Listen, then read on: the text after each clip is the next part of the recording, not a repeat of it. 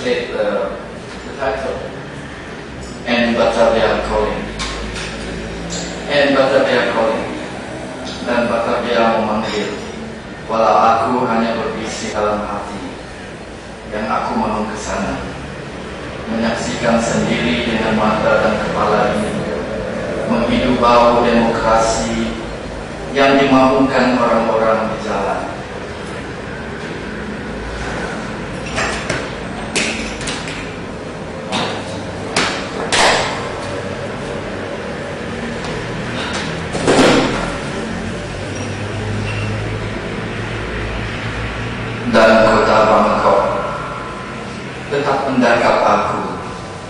Sekejap-kejapnya bagai sawah menggulung mangsanya bagai naga melingkungi tasik.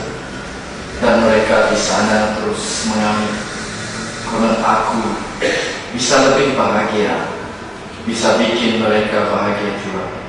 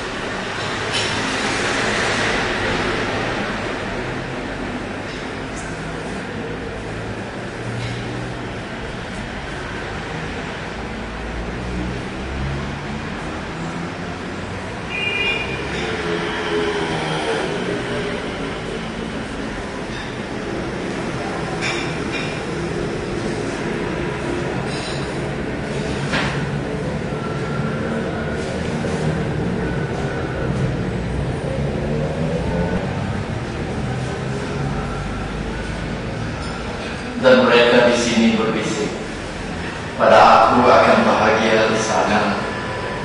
Dan mereka kelaparan yang memberontak dan bergelombang beraksi yang terus.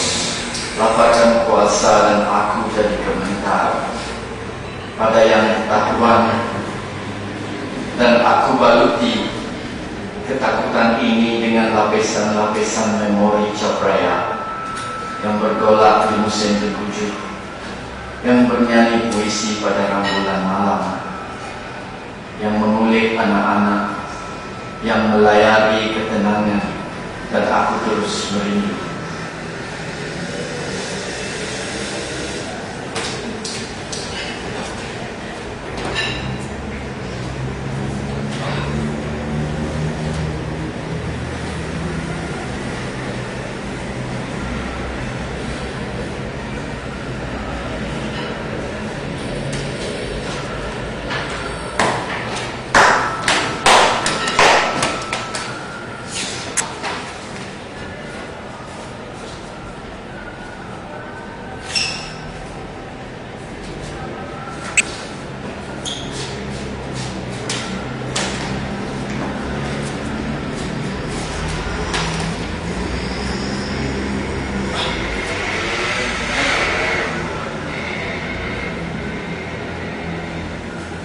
I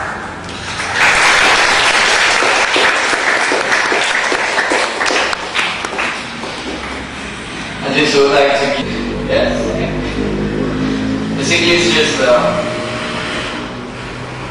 a homage piece for Bangkok. I'm living in Bangkok this week. Been living here for three years, working here. Three years. This place, this corner. So I thought it's appropriate to say something.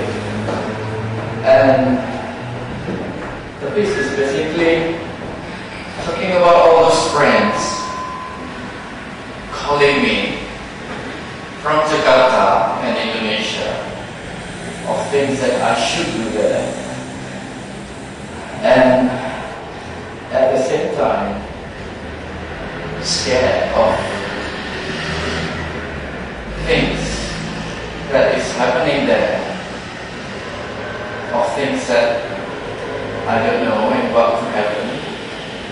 And all these friends here asking me, are you sure you're going to make it there?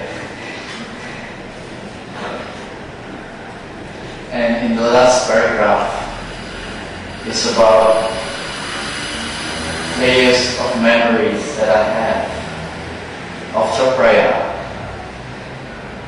sing to me every night, that I see from a window, or that I see from the Chao Phraya River.